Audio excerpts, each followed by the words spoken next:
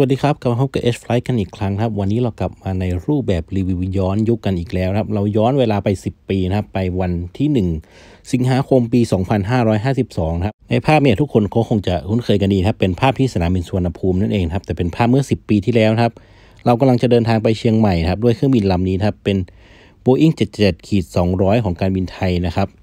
แต่ว่านี่ไม่ใช่รีวิวหลักที่เราจะนำมาให้ชมกันนะครับ เราจะไปเริ่มต้นการเดินทางรีวิวหลักจริง ๆ ที่เชียงใหม่ครับ แต่ว่าก็นำภาพบรรยากาศการเดินทางไปเชียงใหม่เมื่อ 10 ปีที่แล้วมาให้ชมก่อนครับ เพราะว่าบรรยากาศในภาพก็แตกต่างกับในปัจจุบันนะครับ อย่างที่เห็นนะครับบน 777ขีด200 ตอนนั้นนะครับของการบินไทยเนี่ยยังไม่ได้มีการติดตั้งจอภาพทุกที่นั่งนะครับ จอส่วนตัวนะครับ แต่ว่าภายหลังเนี้ยก็มีการปรับปรุงที่นั่งใหม่ครับ แล้วก็ติดตั้งจอส่วนตัวเข้าไปทุกที่นั่งแล้วครับ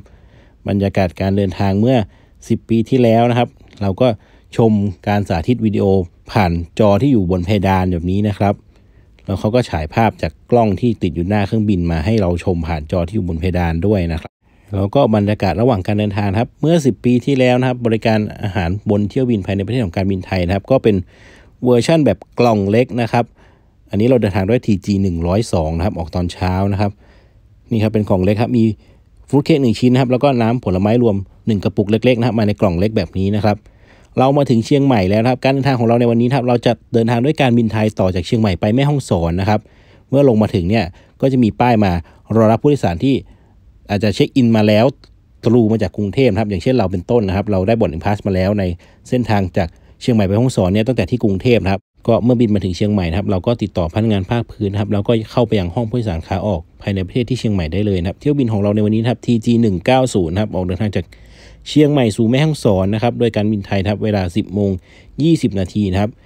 ตอนนี้ก็กำลังจะไปขึ้นเครื่องครับ เครื่องบินเป็นเครื่องบินขนาดเล็กครับ ATR 72นะครับ เราต้องใช้รถบัสไปที่เครื่องนะครับ ก่อนที่จะไปที่เครื่องเนี่ย เมื่อกี้ก็เห็นนะครับ เป็น 777ขีด200 ลำที่เรานั่งมาจากกรุงเทพในไฟ TG 102 นั่นเองนะครับ และเครื่องบินของเราในวันนี้ครับ เป็น ATR 72ขีด200 นะครับ ทะเบียน HSTRB นะครับ อย่างที่เห็นในภาพนะครับ ก็เป็นเครื่องบิน turboprop นะครับหรือเครื่องบินใบพัดนะครับ ซึ่งการบินไทยเนี่ยก็มีเครื่องบินรุ่นนี้ประจำการในช่วงนั้นอยู่ 2 ลำนะครับ แล้วก็มา base อยู่ที่เชียงใหม่นะครับให้บริการในเส้นทางเชียงใหม่แม่ฮ่องสอนเนี่ยเป็นหลักนี่แหละครับเมื่อขึ้นเครื่องครับเที่ยวบินนี้สั้นมากครับลูกเรือก็จะมาแจกขนมก่อนเลยนะครับเป็นอย่างที่เห็นนะเป็น butter cake อย่างที่เห็นในภาพนะครับที่นั่งของเราในวันนี้ครับเป็นที่นั่งหมายเลข 11A นะครับเป็นที่นั่งริมหน้าต่างด้านซ้ายของเครื่องนะครับก็บนเครื่องบินนะครับจัดจัดที่นั่งเป็นชั้นประหยัดทั้งหมดนะครับแล้วก็เริ่มรับแถวแรกเนี่ยเป็นแถวหนึ่งเลยนะครับต่างจาก ชั้นประหยัดบนเครื่องบินรุ่นหนึ่งของการบินไทยครับที่จะนับแถวแรกคือแถวที่ 31 นะครับ ที่นั่งของเราเนี่ย 11A เนี่ยจะอยู่บริเวณหน้าปีกหน้าเครื่องยนต์มาหน่อยๆนะครับ จริงๆก็เกือบจะถึงกลางลำแล้วนะครับบินก็บินขึ้นจากเชียงใหม่ไปแล้วนะครับ ตอนนั้นบินขึ้นจากทิศใต้ไปยังทิศเหนือนะครับ หรือใช้ทางวิ่ง 36 นั่นเองครับ เราก็จะบินอ้อมดอยสุเทพดอยปุยนะครับ แล้วก็เทือกเขาที่กั้นระหว่างเชียงใหม่แม่ฮ่องสอนเนี่ย โดยอ้อมผ่านทางทิศเหนือของเมืองเชียงใหม่นะครับ เลี้ยวซ้ายไปนะครับ เพื่อไปยังแม่ฮ่องสอนนะ หลังจากเครื่องขึ้นมาแล้วก็เราก็เลี้ยวซ้ายนะครับ เราก็จะเห็นภาพสนามบินเชียงใหม่นะครับจางๆอยู่ตรงกลางในภาพนะครับเที่ยวบินนี้ค่อนข้างสั้นมากๆครับเวลาบนอากาศเนี่ยประมาณแค่ 30 นาทีนะครับขึ้นมาปุ๊บก็จะมีการแจกน้ำเปล่านะครับแล้วก็น้ำผลไม้รวมเป็นกระปุกแบบนั้นนะครับ นอกเหนือจากของวางเล็ก ๆ แบบเมื่อกี้นะครับแม้ที่บินจะสั้นนะครับก็มีเวลาที่สัญญาณรับขัดดับลงสั้นๆนะครับเราก็ออกมาถ่ายรูปห้องโดยสารให้ชมกันนะครับโดยสารของ ATR 72ขีด200 ของการบินไทยนะครับก็จัดที่นั่ง แบบ 2-2 นะครับทั้งหมด 66 ที่นั่งนะครับ ความพิเศษก็คือปกติแล้วเนี่ยบนเครื่องการบินไทยเนี่ยริมหน้าต่างด้านขวาแถวสุดท้ายคือแถว K นะครับ แต่ว่าบน ATR 72 เนี่ยจะใช้เป็นแถว E นะครับ ฝั่งขวานี่คือแถว DE นะครับ ก็ลุกมาเข้าห้องน้ำด้วยนะครับ บนเครื่องบินก็มีห้องน้ำห้องเล็กๆ อยู่หนึ่งห้องนะครับ อยู่ด้านท้ายเครื่องนะครับ เดี๋ยวเข้าไปดูกันนะครับ ในห้องน้ำหน้าตาเป็นอย่างไรนะครับ ก็เป็นห้องน้ำห้องเล็กๆนะครับ กระทัดรัดนะครับ ไม่ได้มีอะไรมากมายนะครับ เพราะว่าตัวขนาดของพื้นที่เครื่องบินก็จำกัดด้วยนะครับ นี่คือหน้าตาแผนภาพข้อมูลความปลอดภัยของเครื่องบิน ATR 72ขีด200 ของการบินไทยในตอนนั้นนะครับ สิ่งหนึ่งที่เห็นได้ว่าแตกต่างจาก ATR 72ขีด500 และ 600 ในเวอร์ชันที่ใช้กันอยู่ปัจจุบันก็คือว่า ATR 72ขีด200 เวอร์ชันที่การบินไทยใช้ในตอนนั้นเนี่ยออกแบบให้ผู้โดยสารขึ้นเครื่องได้ทั้งประตูหน้าและประตูหลังนะครับนี่เครื่องบินก็บินข้ามเทือกเขาสูงที่กั้นระหว่างเชียงใหม่และแม่ฮ่องสอนนะครับข้ามดอยสุเทพดอยปุยนะครับมาถึงบริเวณตัวเมืองแม่ฮ่องสอนแล้วครับก็จะเห็นสนามบินแม่ฮ่องสอนนะครับเด่นชัดใหญ่โต เมื่อเทียบกับขนาดของเมืองแม่ฮ่องสอนนะครับอยู่กลางเมืองเลยนะ ล้วขนาดสำคัญอย่างหนึ่งของสนามบินแม่ฮ่องสอนคือว่าด้านทิศตะวันออกของสนามบินเนี่ยจะเป็นภูเขาสูงครับเครื่องบินจะลงจากทางด้านนั้นไม่ได้ครับเครื่องบินต้องบินผ่านตัวเมืองมาก่อนครับแล้วก็ไปลงจากทางทิศตะวันตกมานะครับหรือลงโดยใช้ทางวิ่งทิศหนึ่งหนึ่งนั่นเองนะครับนั้นแล้วเนี่ยเครื่องบินของเราก็ต้องบินเลยผ่านตัวเมืองไปก่อนครับให้เราชมวิวเมืองไปก่อนนะครับแล้วก็ค่อยบินกลับมาลงนะครับ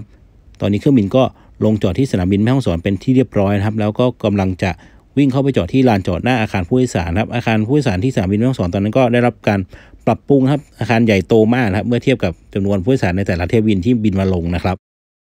เราก็ลงจากเครื่องครับ เดินเข้าอาคารผู้โดยสารครับ ในตอนนั้นเนี่ยการบินไทยก็ให้บริการเส้นทางเชียงใหม่แม่ฮ่องสอนเนี่ย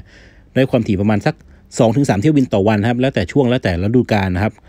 แล้วก็เป็นปีท้ายๆแล้วนะครับ ปี 2562เนี่ยที่การบินไทยให้บริการที่แม่ฮ่องสอนนะครับ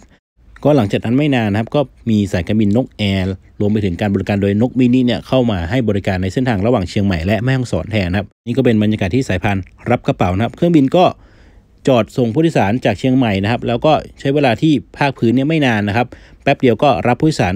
จากแม่ฮ่องสอนเนี่ยบินกลับไปเชียงใหม่ในเที่ยวบิน TG 191แล้วนะครับบินก็แท็กซี่ออกไปนะครับ เตรียมตัวไป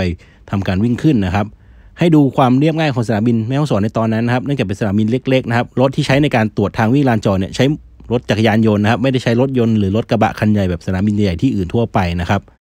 ATR 72ขีด200 ที่พาเรามาส่งที่แม่ฮ่องสอนก็บินกลับไปเชียงใหม่ครับ แต่ว่าเดี๋ยวช่วงบ่ายเย็นๆก็มีกลับมาอีกนะครับ เพราะว่าอย่างที่บอกนะครับก็เป็นเครื่องบินที่ให้บริการในเส้นทางนี้โดยเฉพาะนะครับที่การบินไทยนำมาประจำการที่เชียงใหม่ ไปชมบรรยากาศที่แม่ฮ่องสอนเมื่อ 10 ปีที่แล้วกันดีกว่าครับ เราออกไปเที่ยวนอกเมืองหน่อยๆนะครับ อันนี้เป็นบริเวณที่เขาเรียกว่าถ้ำปลานะครับ ก็อยู่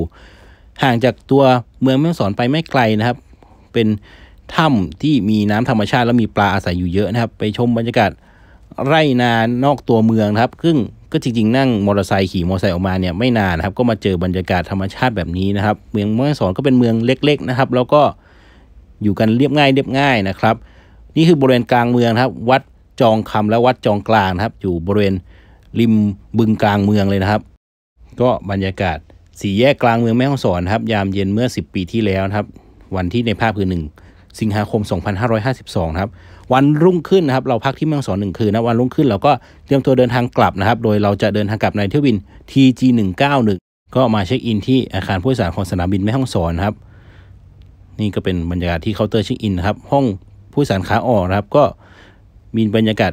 สบายๆครับผู้โดยสารไม่เยอะนะครับเพราะว่าอย่างที่บอกเครื่องบินลำหนึ่งจุดได้แค่ 66 ที่นั่งครับแต่สิ่งหนึ่งที่เราอยากให้ดูคือนี่ครับหน้าตาของบัตรที่นั่งหรือว่า boarding pass ของที่การบินไทยที่แม่ฮ่องสอนในตอนนั้นครับยังเป็นแบบนี้อยู่เลยครับเป็นแบบกระดาษเจาะรูแล้วก็ดึงผ่านเครื่องพิมพ์ที่เป็น dot matrix มาพิมพ์นะครับแต่ว่าสถานีอื่นๆทั่วประเทศทั่วโลกเนี่ยแทบจะเปลี่ยนไปใช้แบบแถบแม่เหล็กหมดแล้วครับเป็นกระดาษที่ด้านหลังมีแถบแม่เหล็กหมดแล้วครับเครื่องบินที่จะมารับเรากลับไปเชียงใหม่ก็ลงจอดที่แม่ฮ่องสอนครับ เป็นเครื่องบินรุ่นเดียวกันนะครับ ATR 72ขีด200ครับแต่ว่าในนี้หน้าตาเปลี่ยนไปนะครับเป็นอีกลำหนึ่งครับการบินไทยก็มีอยู่ 2ลำนะครับลำนี้ทะเบียน HSTRA นะครับก็นั่นแหละครับเบสอยู่ที่เชียงใหม่ด้วยกัน 2ลำนะครับคอยมาบินแม่ฮ่องสอนสลับกันเนี่ยนะครับส่งผู้โดยสารลงเสร็จก็เตรียมรับผู้โดยสารขึ้นเครื่องนะครับจะเห็นว่าที่หน้าประตูด้านหน้าเครื่องเนี่ยจะมีการนำหนังสือพิมพ์มาวางไว้ให้ผู้สารหยิบตอนขึ้นเครื่องนะครับ ส่วนด้านท้ายเครื่องเนี่ยตอนแรกเขาจะเอาแอร์ ภาคพื้นเนี่ยมาต่อท่อใส่เข้าไปอยู่นะครับ เพื่อเพิ่มความเย็นในเครื่องนะครับ แต่ว่าพอตอนหลังๆเนี่ยเมื่อผู้สารเริ่มขึ้นเครื่องเกือบจะครบเนี่ยก็จะมีการนำตัวท่อแอร์นั้นออกนะครับ แล้วก็ให้ผู้สารขึ้นเครื่องด้านท้ายเครื่องด้วยนะครับ วันนี้เรานั่งที่นั่ง 15E นะครับเป็นที่นั่งค่อนมาทางท้ายหน่อยนะครับ เราก็เลยขึ้นประตูด้านหลังของเครื่องนะครับ ก็ให้ชมภาพบรรยากาศครับเครื่องเครื่องจะทางด้านท้ายนะครับ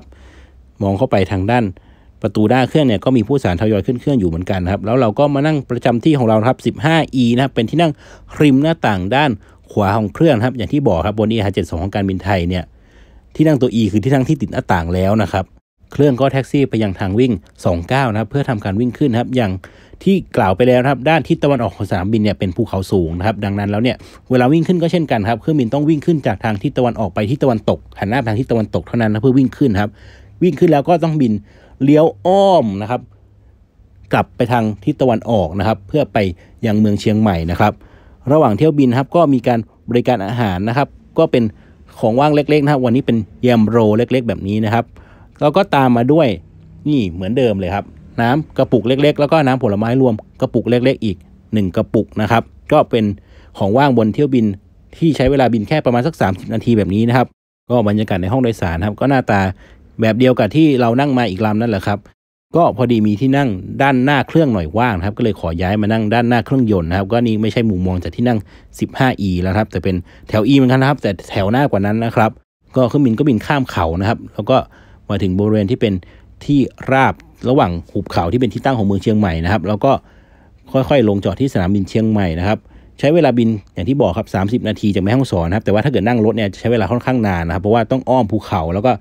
เส้นทางค่อนข้างโคดเคี้ยวสลับซับซ้อนนะครับการเดินทางโดยเครื่องบินระหว่างเชียงใหม่และแม่ฮ่องสอนถึงเป็นที่นิยมและจำเป็นมากนะครับก็ก่อนลงจากเครื่องก็เมื่อกี้ให้ชมภาพห้องโดยสารแบบโล่งๆกว้างๆนะครับไปเรียบร้อยนะครับแล้วก็เราก็ลงจากเครื่องนะครับก็มาที่สายพานรับกระเป๋านะครับที่ G191 จากแม่ฮ่องสอนเดินทางถึงเชียงใหม่เป็นที่เรียบร้อยครับขอบคุณทุกคนที่ติดตามชมรีวิวนี้นะครับแล้วพบกันใหม่ครับขอบคุณและสวัสดีครับ